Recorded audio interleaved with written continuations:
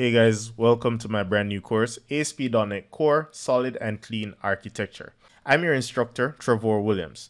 I have over 10 years experience as a software engineer and a lecturer. In this course, we're going to be looking at quite a few things. We're going to look at implementing solid principles and clean architecture in an ASP.NET Core application. Along the way, we're going to work with advanced tools like MediatR, Automapper, Fluent API for validation. We'll be building global exception handling and logging, and we'll be looking at the CQRS pattern, which is a wonderful pattern that keeps our code segregated and in bite sizes for maximum integration and extensibility. At the end of this course, we're going to understand how to do unit testing, how to integrate third-party services into an application, and look at how we can deploy it for production purposes.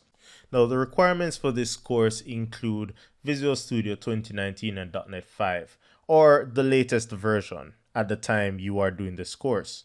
Everything we're going to be doing is future proof and these principles can be transferred to the latest versions with no problem. To get the most out of this course, I do recommend that you have some amount of C Sharp and .NET programming knowledge as well as database development knowledge. Either way, I will make the content very beginner friendly and you should have absolutely no problem following along. And now that you have all the information you need, I'll see you soon in the course.